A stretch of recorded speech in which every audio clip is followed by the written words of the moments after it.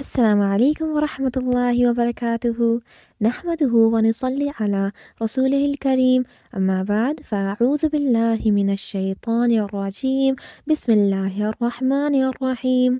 حديث number 39 قال رسول الله صلى الله عليه وآله وسلم لا يدخل الجنة نمام چغل خور جنت میں داخل نہیں ہوگا صحیح مسلم.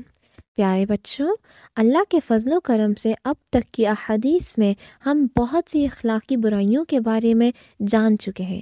آج کی حدیث میں بھی ایک اور اخلاقی بیماری چغل خوری سے نہ بچنے والوں کو وعید سنائی جا رہی ہے کہ وہ جنت میں داخل نہیں ہوگا۔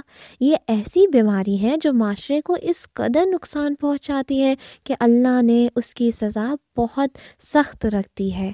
چغل خوری کا معنی اس کا مطلب ہے کہ ایک فرد کی بات دوسرے کو اس لیے بتائی جائے کہ دوسرے فرد کے بارے میں برا خیال پیدا ہو اور ان کے تعلقات خراب ہو جائیں، اس طرح ان میں لڑائی، جھگڑا ہو جائے تو یہ چغل خوری یا چغلی کہلاتا ہے۔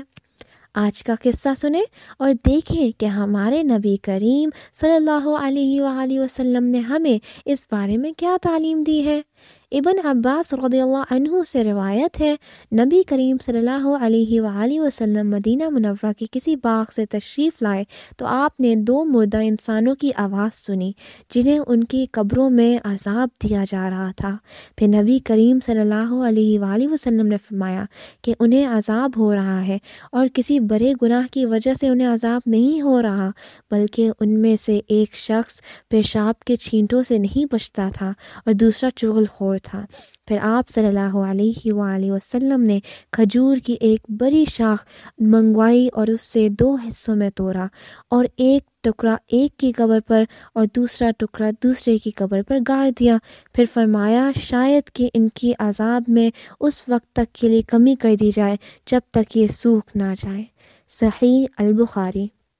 عملی نکات پہلا چغل خوری صرف نقصان کا باعث ہے، اس لیے اس سے بچنا چاہیے۔ اگر کوئی آپ کو کسی کی بات بتائے تو اسے نرمی سے منع کریں اور یہ حدیث سنائے اے اللہ، ہمیں چغل خور اور چغل خوری سے بچا کر رکھنا۔ آمین۔ جزاکم اللہ خیر کثیرا۔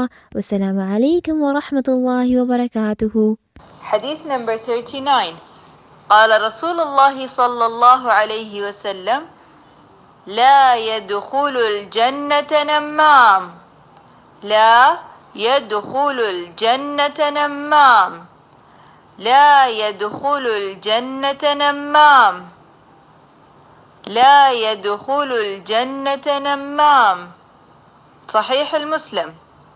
The one who spreads malicious gossip will not enter paradise.